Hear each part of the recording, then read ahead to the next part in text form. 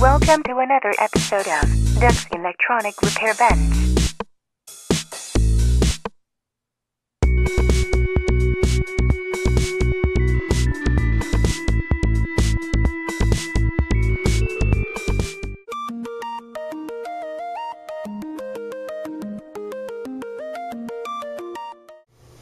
Oh, afternoon, YouTube.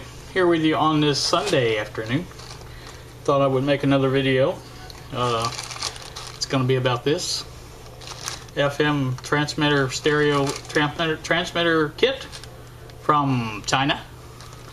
And I'm taking a little break from the uh, Zenith at the moment. And uh, going to play around with this a little bit, and we'll get on the other camera and show you what it's all about. Alright, what we've got here is the bag with all the parts open her up if I can. See what she looks like.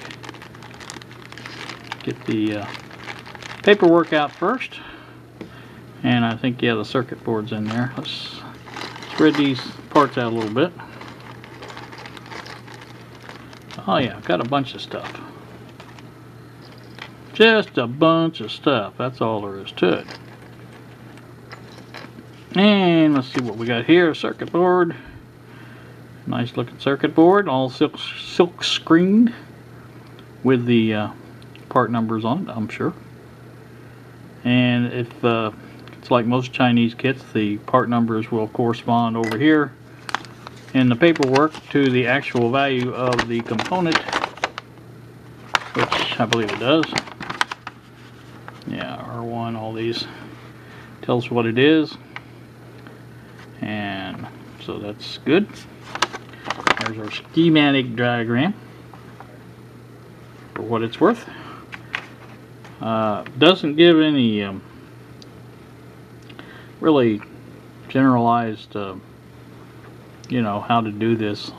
What I'm going to try to do first I believe is like do the socket for that because there's a socket and then uh, do the uh, the passive type components first and then we'll do the active ones and go from there. Just uh, going to take my time with this not going to be in a hurry uh, Lexi works till 9 tonight and it's just a little after well it ain't even after 2 yet.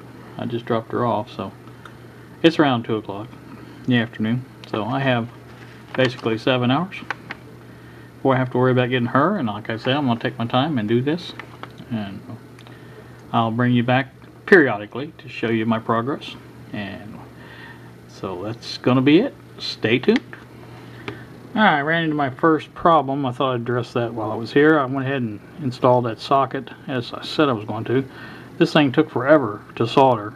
Um, those uh, pads are not very solder friendly. Uh, I don't know how else to explain it.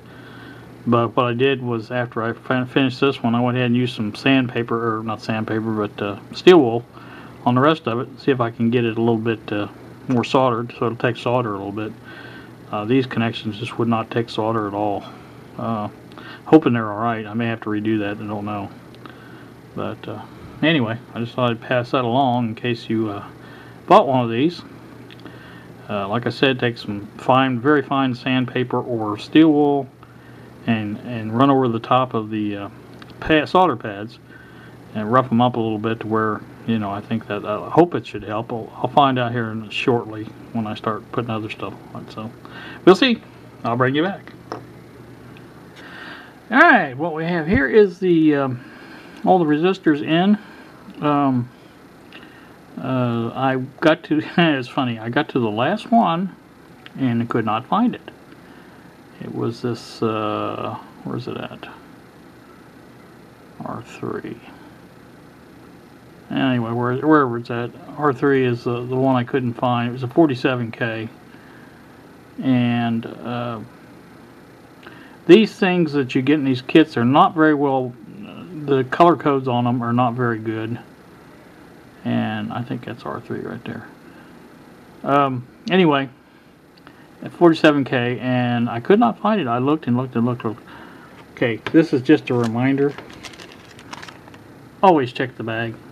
It was in the bag still. I thought it came out with the rest of the parts, but it didn't. So, that's pretty funny that uh, it came out to be the last one. anyway, all of the uh, for some reason all of the uh, all of the uh, resistors are on it, but I ended up with two extra high wattage, higher wattage, I should say, resistors left.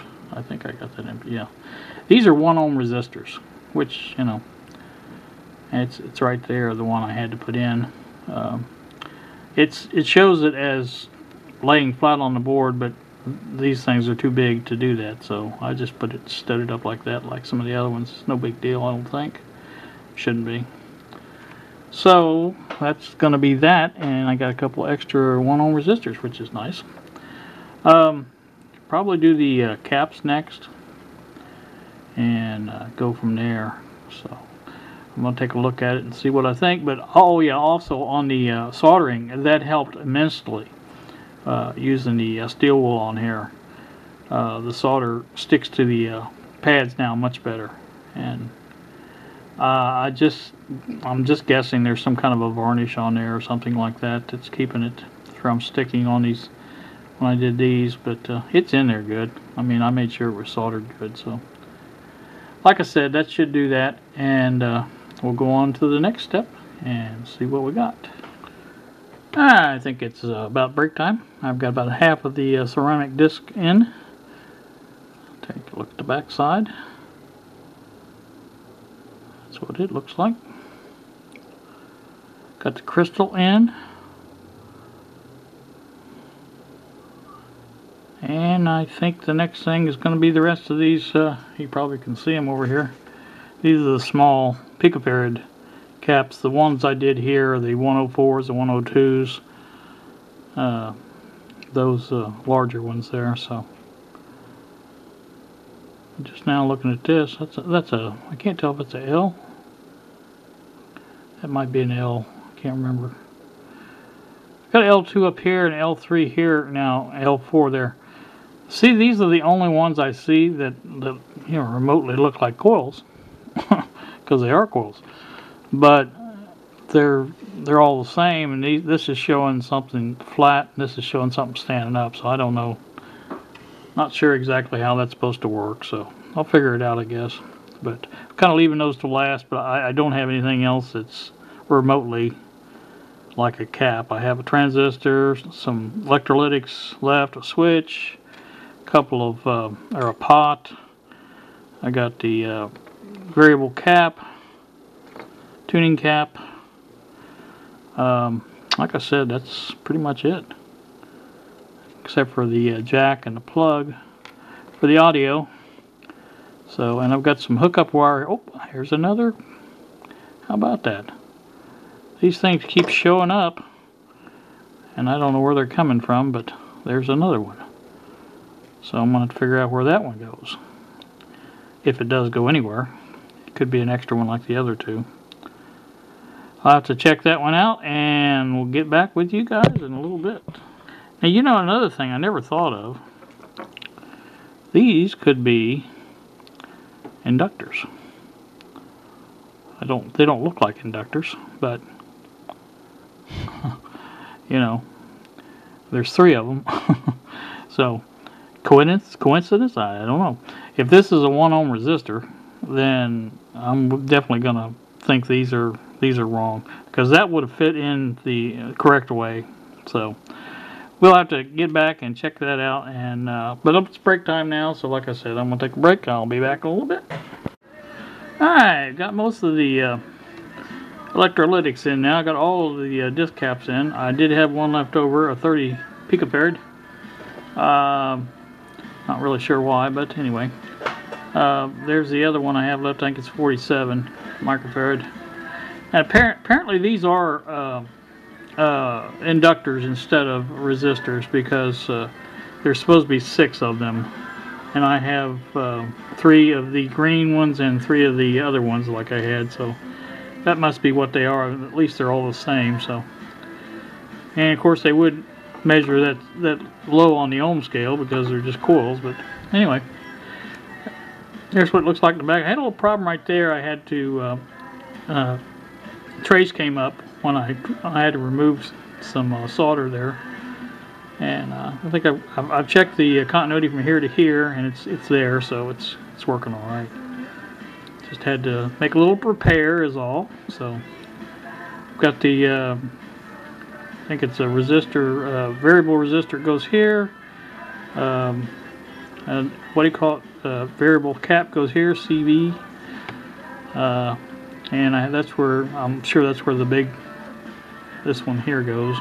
So put that on next and get that done, and then check all the other things that I need to do and go from there. So we'll bring you back later. All right. Well, what we have here is the fully populated AM or uh, FM stereo transmitter board. It is all soldered. Everything, um, what, uh, everything seems to have went into place all right. Have a switch here. Have a capacitor here. Got a uh, rheostat or uh, volume control or whatever you want to call it here. Variable resistor. Uh, so only had one uh, this capacitor left. The only thing I can figure is this was marked 30p for the uh, the variable uh, capacitor, and that's a 30p um, cap. So maybe maybe somebody at the factory thought, oh, that's what's going to win here. Okay, so you know whatever. Um, I still have to hook up the uh, hookup wire for the power and the ground and the antenna. So I haven't even seen where the antenna hooks up to tell you the truth. I see ground right there. I see, I think that's power there. So I'm not really seeing a place to mount the, the antenna. Probably goes over here somewhere, I would think. Maybe it goes off the back. See anything. But you get you get a stereo connector and everything with it, so that's kind of nice.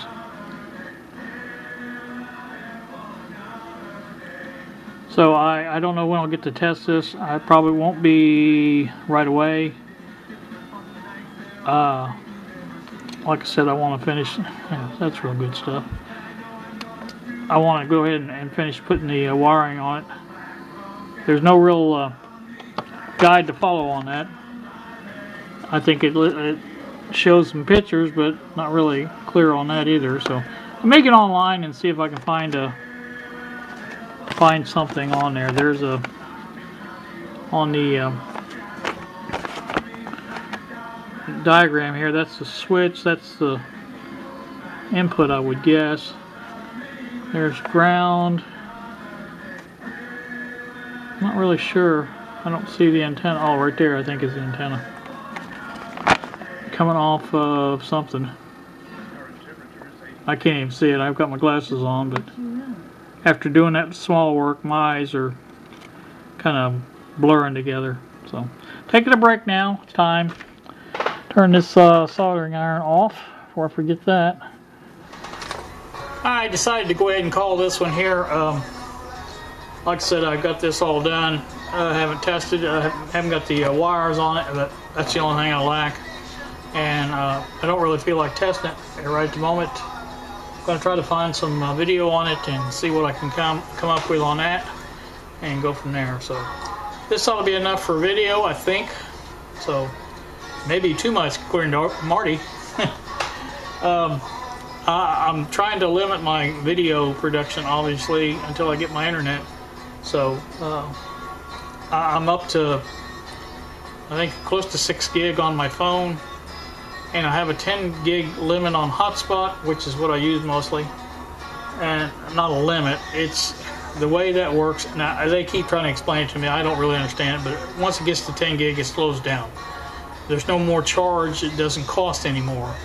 But uh, so I've been trying to use my phone to watch videos as much as possible. That way I don't use the hotspot, and I've got 22 gig doing that. So go figure. Not sure why, but that's the way it works. So. Um, gonna get off here. You guys have a pleasant evening. It is, like I said, a little after six. And uh, you guys have a great evening. Thanks so much for watching, and we will See ya.